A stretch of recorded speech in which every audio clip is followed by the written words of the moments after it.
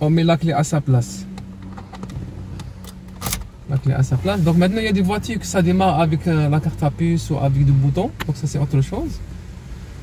La deuxième des choses, j'ajuste mon siège. On est d'accord sur ça. Donc il faut avoir les 110 degrés ici. On a parlé de ça. Et 110 degrés ici. Le dossier aussi 110 degrés. C'est bon? Après, ajuster ce qu'on appelle l'appui de tête. L'appui de tête, il faut avoir 7 à 10 cm entre la tête et l'appui de tête. Après, j'ajuste mes rétroviseurs intérieur et extérieur à droite et à gauche. Donc, tout va bien, donc là, je dois barrer ou je dois boucler ma ceinture. Donc, boucler ma ceinture. La ceinture, c'est très important aussi, n'oubliez pas ça. Parce que j'ai un élève qui a collé l'examen qui a démarré sans ceinture. Et après quelques secondes, le monsieur il avait dit qu'est-ce que tu as oublié? Il a déjà oublié rien. Mais après, il a commencé à checker, il a trouvé que la ceinture n'est pas attachée. Donc, euh, il ne peut pas donner l'examen, c'est sûr. Donc, il ne peut pas donner l'examen. Donc, euh, c'est échec automatique. Bon. Donc, on a dit la clé, le siège, euh, l'appui de tête, les rétroviseurs ensemble. On a dit la ceinture. Là, très important aussi, il faut barrer les portes toujours je barre mes portes. C'est bon? Donc là, je démarre la voiture. Voilà. Donc toujours avant de partir, il faut laisser la voiture comme 30 secondes. Ça chauffe un petit peu ou ça tourne euh, toutes les hydrauliques là. Euh, ça c'est des conseils euh, plus pour, pour le moteur, c'est des conseils plus mécaniques. Mais ici au Canada il fait froid un petit peu. Donc, euh, puisqu'il fait froid, vous pouvez démarrer la voiture avant et laisser la voiture rouler un petit peu, 2-3 euh, minutes ou 1 minute. Ça, c'est très important. On a même des démarrages à distance ici au Canada. Mais en France, non. En France, toujours, si vous faites ça en France, vous coulez l'examen. J'ai des élèves qui me suivent en France. Donc, il faut ajuster tout ça. Et à la fin, vous démarrez la voiture. Les personnes qui passent euh, l'examen à Paris ou à Marseille ou à Toulouse. C'est bon? Donc là, très important aussi, il faut avoir un peu d'air. Toujours baisser la vitre comme ça. Bon, baisser, ça dépend, chacun il baisse sa façon, mais toujours un peu d'air. C'est beaucoup mieux. C'est bon?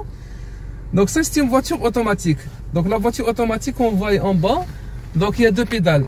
Il y a le pédale à droite, c'est l'accélérateur. Et le frein, c'est à gauche. C'est bon? Donc il n'y a pas d'embrayage. Donc on a juste deux pédales. À droite, accélérateur, frein à gauche. Et le frein, il joue le rôle de embrayage. Bon, donc je vais faire une autre vidéo pour expliquer tout ça. Donc là, il y a des étapes pour démarrer la voiture toujours. Donc on a démarré la voiture, c'est bon? Je signale mes intentions avec le clienton. Clienton à gauche, comme quoi je vais sortir. Je vérifie mon rétroviseur. Les jours d'examen, il faut faire comme ça. Rétroviseur intérieur, extérieur, angle mort. C'est bon, il n'y a personne. Donc je sélectionne le D. Ça, c'est une boîte automatique. Ça parking, ça reculé, ça neutre, ça démarrer. C'est bon? Ou drive, comme on dit. Donc, toujours, je ramène ça sur le D. Sur le D ou le D3. C'est bon, c'est automatique. Donc là, j'ai déjà enclenché mon clienton, tout ça, j'ai vérifié. Je veux refaire juste l'angle mort de fond. C'est bon? Parce qu'il y a des voitures peut-être qui arrivent. Euh, bon. Et là, j'accélère doucement et je commence à tourner mon volant doucement. C'est bon? Voilà. Donc là, j'ai un virage ou j'ai une courbe si vous voulez. Donc pas besoin de faire ni clienton ni angle. C'est bon? Parce que j'ai pas changé de la voie et j'ai pas sorti de ma voie. Je continue tout droit. Voilà. Mais demain, toujours sur le volant. Il y a des points sur ça. Euh, on a dit 10h10. On a dit 9h15. Donc moi, je préfère 10h10. Je préfère 10h10.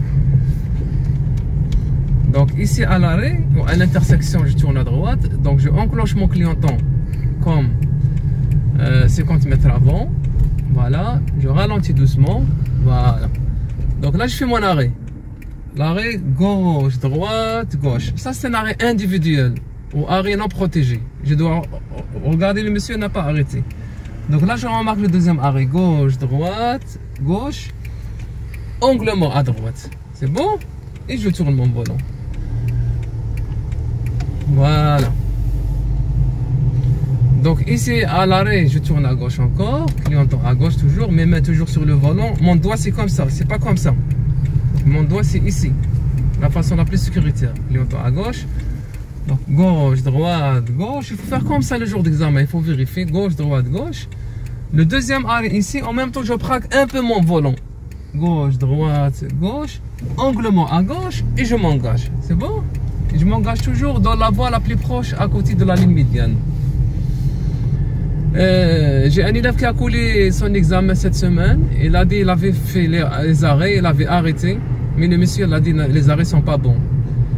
Euh, mais c'est vrai, parce que lui, il vérifie pas gauche, droite, gauche. Euh, donc on a dit il faut arrêter les roues et vérifier gauche, droite, gauche. On a dit vérifier gauche, droite. Vous n'êtes pas obligé de faire 3 secondes, mais vérifier gauche, droite, gauche. Ça peut aller à 4 secondes ou 5 secondes ou 2 secondes. Mais important, c'est la vérification, c'est la sécurité routière. Voilà. Donc là, j'ai incité le passage. C'est bien? Donc, inciter le passage, la priorité, c'est pas pour moi. Donc, je dois céder le passage aux autres. Je rentre un petit peu, il ne faut pas arrêter. Je vérifie là-bas, vous voyez le monsieur, donc il y a quelqu'un ici. Donc, je dois arrêter, j'ai pas le choix. Mon clienton, c'est à gauche, comme vous voyez. Le clienton, il devient à gauche parce que je m'engage vers la voie à gauche.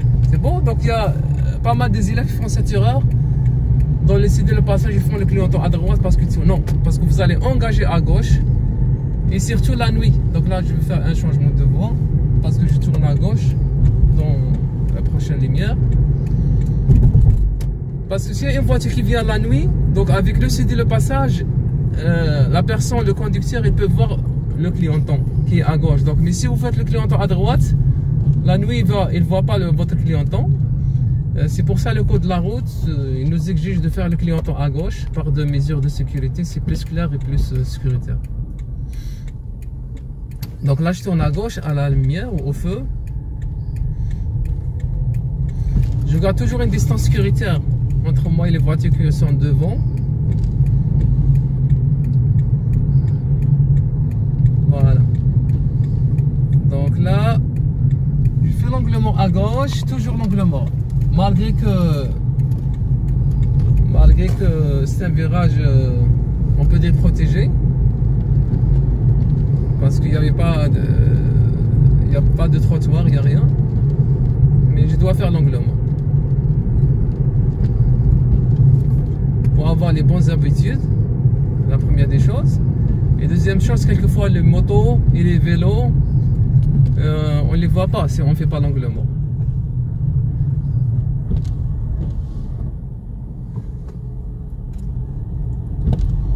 Voilà. Donc on continue tout droit. Donc ça c'est un arrêt pour tout le monde. Gauche, droite, gauche et je continue tout droit.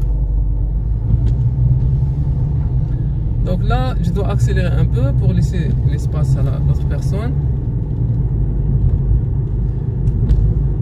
Je garde toujours la ligne, toujours comme j'ai dit, rouler à côté de la ligne médiane, c'est beaucoup mieux. Voilà, vous voyez, toujours à côté de la ligne, c'est plus sécuritaire. Si je roule là-bas, je vais, je me trouve derrière le camion. Donc là, il courbe, je garde ma courbe, je garde ma voie. Voilà. Donc là, prochain arrêt, je tourne à gauche. Client à gauche et je continue dans ma voie. Donc c'est un arrêt protégé ou arrêt toute direction. Voilà. Donc je fais mon arrêt, gauche, droite, gauche. L'autre personne est venue devant moi. La Mercedes, est... oh, ok, c'est bon, merci. Deuxième anglement. Ok, plusieurs appellations.